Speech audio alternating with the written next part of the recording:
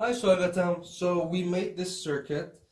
It's a line detector, non-contact line AC detector. And the light will go on when we get close to the line. So let's see, I'm gonna move slowly, slowly, slowly towards the plug and we'll see it turns on. So that's the range, all right? Now let's try it from a different angle. Slowly, it already turns on. Okay, so now it's the distance is is more, it's longer, but uh, the light already turns on. So now let me try from the other way. I'm going closer, closer, closer, and it turns on.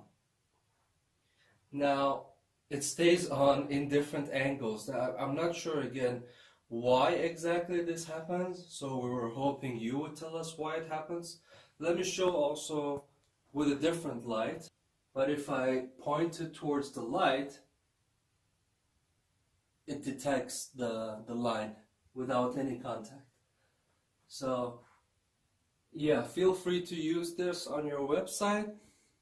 And you know, if you want, you could also give us some feedback why exactly it happens that from different angles it uh, detects different ranges and different frequencies. So, hope you enjoy it.